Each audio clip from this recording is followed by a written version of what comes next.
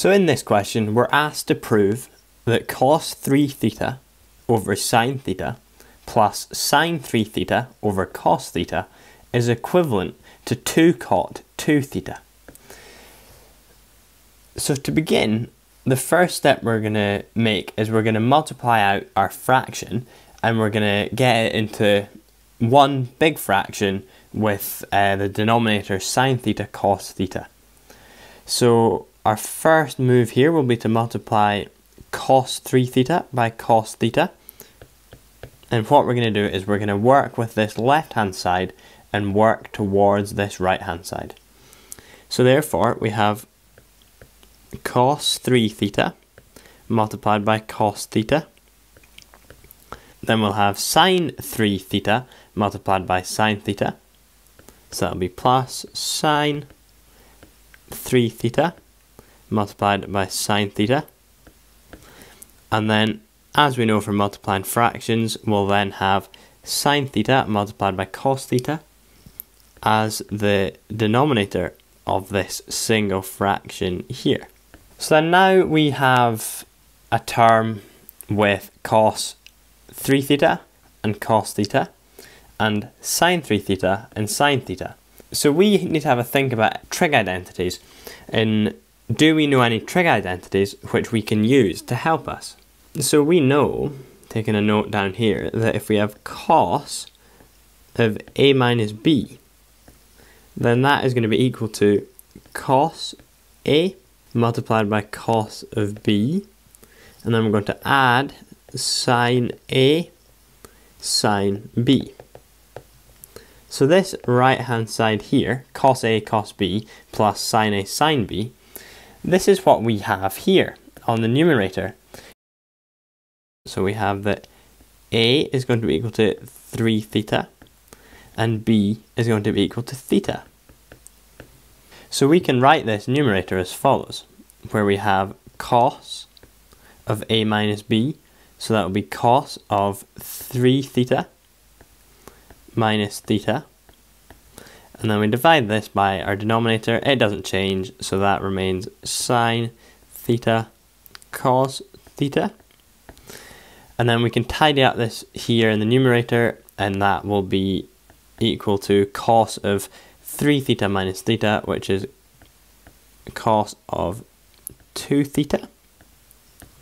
And again, the denominator stays the same, and that's going to be sine theta multiplied by cos theta. So our next step is to have a look at this denominator and see if there's anything we can do or anything we know which will help us here. So we know we have the double angle formula, which is as follows. It is sine 2 theta is going to be equal to 2 sine theta cos of theta. So what we have here, 2 sine theta cos theta, is very similar to what we have here as our denominator. So to make this the same, we need to get rid of the 2. How do we do that? We can divide both sides by half. So therefore, our trig identity which we're going to use is going to be a half of sine 2 theta is going to be equal to sine theta cos theta. So what we can then do is we can replace sine theta cos theta with 1 half of sine 2 theta.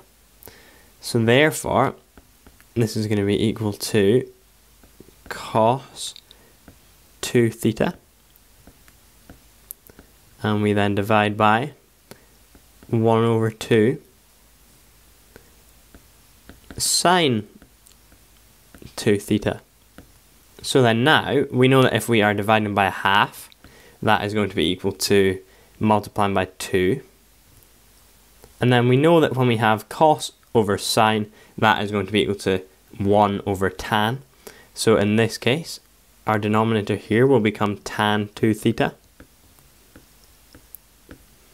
And we'll just note down here that cos theta over sine theta is equal to 1 over tan theta. And then now we look back to what we're aiming for. We're aiming for 2 cot 2 theta, and we have 2 over tan 2 theta.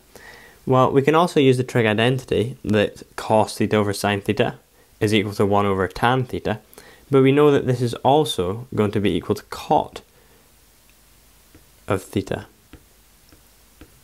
So therefore, we can now use this last trig identity here, and we can conclude that this is going to be equal to 2 multiplied by cot 2 of theta.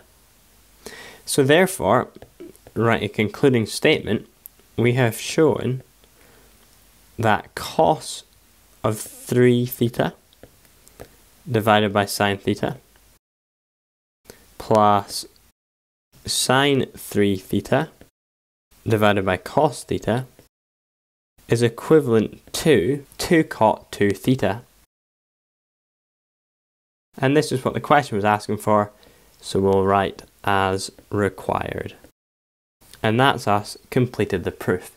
So this question was worth 4 marks, and we received our first mark for multiplying out a fraction and getting Uh, into one single fraction.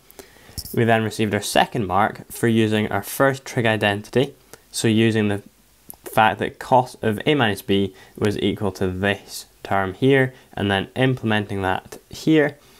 We then receive a third mark for knowing to use the double angle formula and getting to cos of 2 theta over a half of sine 2 theta.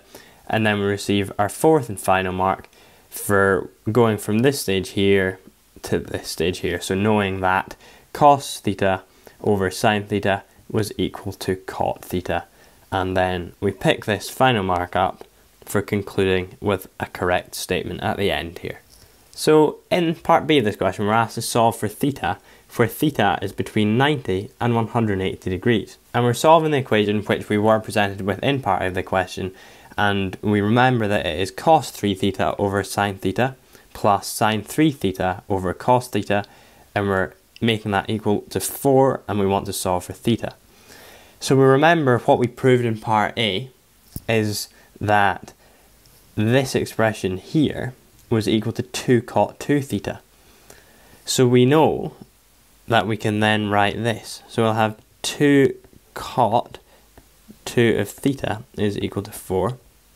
But then we know that 2 cot 2 theta is going to be the same as 2 over tan 2 theta. And then this is something that we can use our calculators and our knowledge of trig to solve. So therefore, we have, we'll just note down here that this is then going to be equal to 2 divided by tan 2 theta. So then going back to what we have, we can write that 2 over tan 2 theta is going to be equal to 4. So we can then multiply both sides by tan 2 theta, which will give us 2 is equal to 4 tan 2 theta, and then we can divide both sides by 4. So this will give us tan 2 theta on its own. So we have tan 2 theta is equal to 2 over 4, and we know that that is equal to 1 half. And then this is something that we can use our knowledge of trig to solve. So we can then say that 2 theta is going to be equal to arc tan, so tan minus 1 of a half and this is something that we can put into our calculators. So we'll therefore have that 2 theta is going to be equal to 26.6 degrees, rounding to three significant figures. And then we'll use our cast diagram. So we draw that here.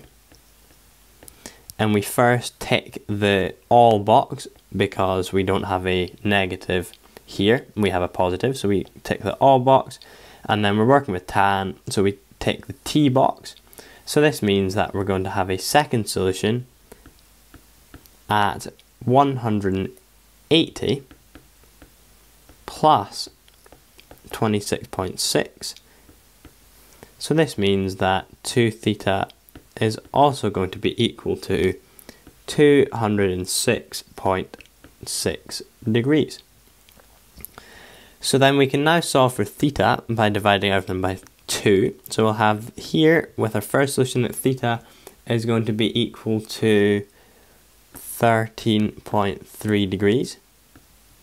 And then we divide 206.6 by 2, which comes out as 103.3 degrees.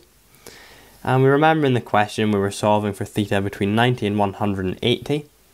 So therefore we can say that 13.3 is not a valid solution because it's out of range. But we see that theta being equal to 103.3, that's a valid solution. So therefore we conclude that theta is going to be equal to 103.3 degrees. And we're asked in the question to give our solutions to one decimal place, and that's what we've done here with 103.3 degrees. So in this question, where were our marks available? So we achieved our first mark for getting to this stage here. So when we said that 2 over tan 2 theta was equal to 4. So basically, if we're using our knowledge of what we did in the previous part of the question, we can then pick up our first mark there. We then pick up our second mark for getting to the stage where we knew to do arctan.